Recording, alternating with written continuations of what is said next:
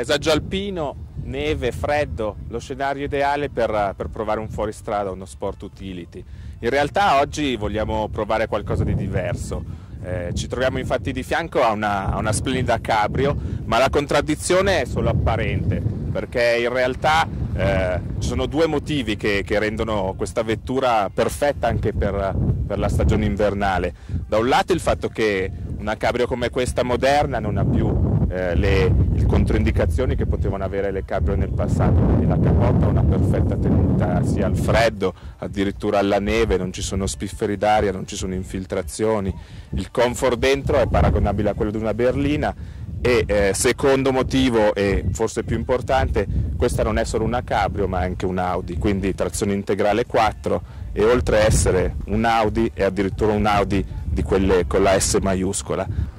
Questa versione di Audi S5 è la Model Year 2012 e la si riconosce per un frontale ristilizzato con eh, proiettori a LED di nuova foggia, eh, calandra nel tipico single frame Audi eh, rifinita in alluminio e una, una, uno spoiler ancora più grintoso. Gli stessi motivi li troviamo anche al posteriore, Riprende gli stessi temi aggressivi dell'anteriore con uh, proiettori anche loro tecnologia LED e soprattutto i quattro terminali di scarico ovali che danno un'impressione di grande potenza ed aggressività. Ma andiamo a bordo.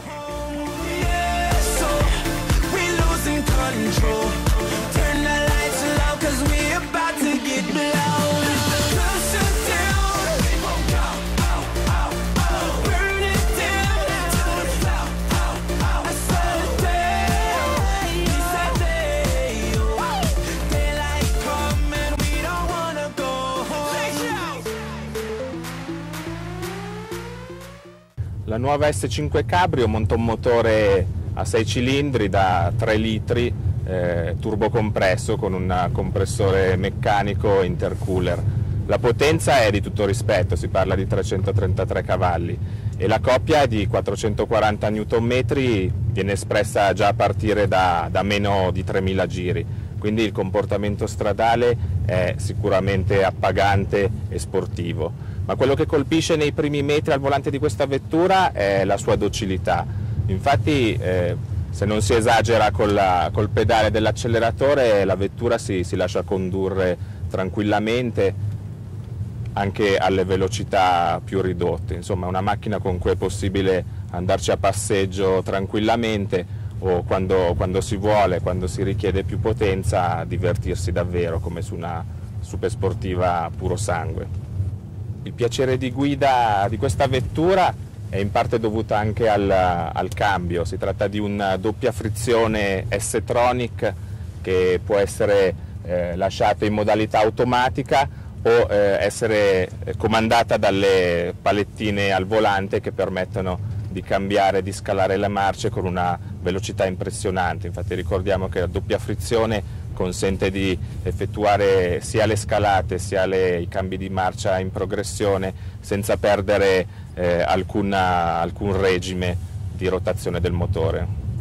Il sistema Audi Drive Select, che è una, un optional vivamente consigliabile su una macchina di questo livello, consente tra l'altro di eh, tarare il, la risposta della vettura in base alle, alle proprie preferenze o al tipo di strada che stiamo percorrendo si può selezionare una modalità efficiency che minimizza consumi ed emissioni, una modalità comfort che predilige appunto la, la comodità di guida e la dolcezza di erogazione, una modalità automatica eh, che eh, diciamo è, è, la modalità che va bene un po' per tutte le situazioni in cui la macchina capisce il tipo di guida che stiamo, eh, stiamo effettuando e eh, adegua i, le risposte del cambio, dello sterzo, dell'acceleratore. È una modalità dynamic eh, dove invece viene esaltata tutta la sportività della vettura, quindi i cambi diventano rapidissimi, in scalata si sente la classica doppietta che tanto gratifica gli appassionati. Oltre a queste modalità c'è addirittura la possibilità di andare su eh, una un'ulteriore opzione che permette di eh, regolare i parametri in modo eh, personalizzato. A livello di sistemi di infotainment eh, questa, questa Audi si colloca alla, al vertice della, della, categoria, infatti offre una, una, un sistema che consente di connettersi con uh, ogni tipo di, di apparecchio, dall'iPhone, iPad, eh, smartphone e di visualizzare tutte le funzioni comodamente sul display centrale.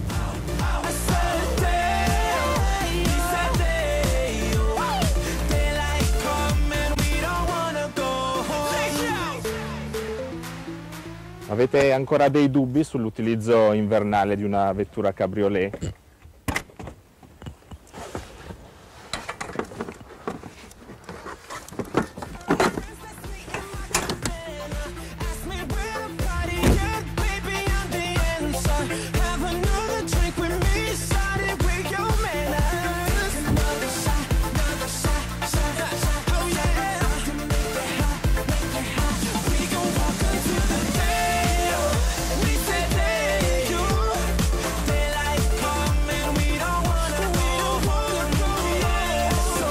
Le di ruote pista non più.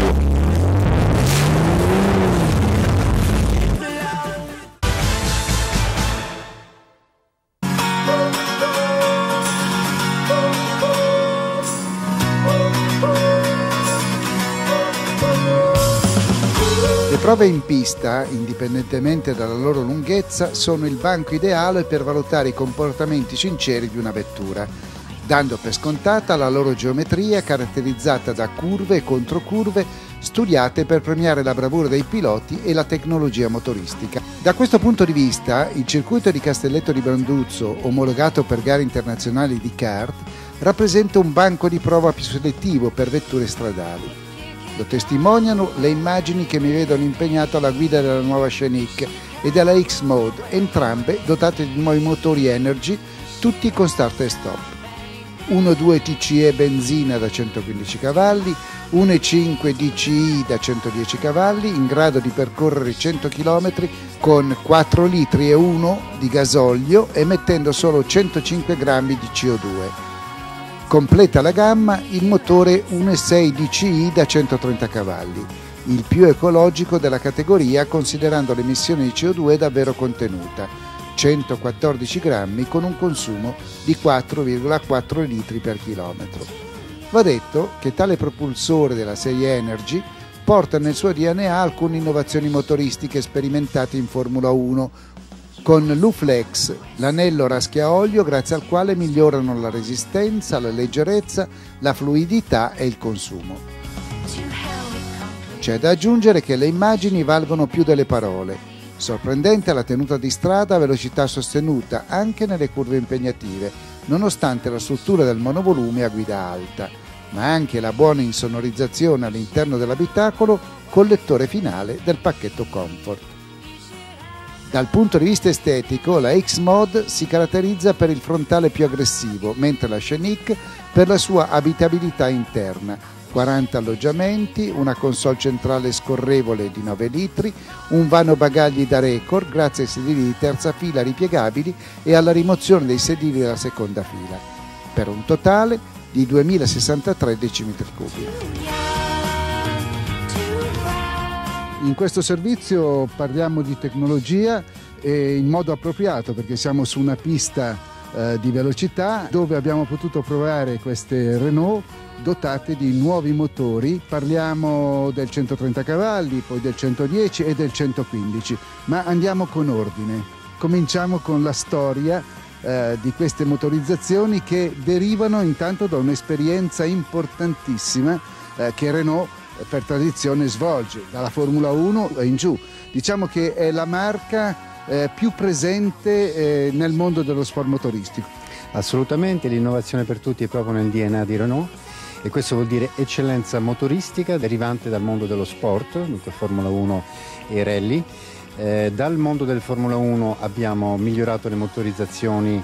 eh, con il discorso del risparmio energetico e dal rally siamo riusciti a migliorare telaio e sospensione, dunque offriamo veramente dei prodotti altamente tecnologici. Noi abbiamo provato sia la X-Mode sia Scenic eh, e devo dire che eh, ci sono molte qualità da sottolineare, a partire eh, loro, dal loro comportamento in pista, eh, facilissimi da guidare, eh, sorprendenti data eh, la struttura della macchina, che è una, una macchina familiare. Assolutamente, l'innovazione per tutti è in tutti i campi, anche nella sicurezza, il telaio migliorato grazie all'esperienza del rally. I motori Energy sono la perfetta combinazione, come dicevi tu,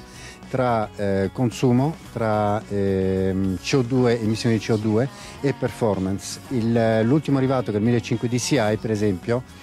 eh, ha una, un consumo di 4,1 litri per 100 km, emissioni di CO2 di 105 grammi al, al chilometro e una performance di 180 km orari. A differenza eh, dei primi antiparticolato che venivano ovviamente applicati a motori già esistenti, essendo tra l'altro di ultima generazione, ha avuto il vantaggio di essere eh, inserito in un concept originale e quindi eh, più organico e forse più equilibrato eh, in funzione di quello che deve essere. Assolutamente, questo grazie al fatto che abbiamo due ingegneri che hanno fatto il successo della Formula 1, Jean-Philippe Mercier e Philippe Coblance, che hanno lavorato in team sui motori Energy e dunque hanno proprio eh, usato le conoscenze delle, delle motorizzazioni sportive spingendo al limite il discorso di downsizing e rendendo queste motorizzazioni le più eh, competitive possibili sul mercato. Ecco, senza volervi tediare più di tanto, eh, io credo che eh, questa semplice prova fatta tra l'altro anche eh, sulle strade attorno all'autodromo, che però hanno consentito di eh, valutare i comportamenti eh, della vettura eh, non solo sollecitata in pista, ma anche appunto nella conduzione diciamo eh, più tranquilla e più serena, ma al tempo stesso più impegnata. Ecco, io concluderei questo servizio invitandovi a provare eh, questa Renault eh, sarà una sorpresa.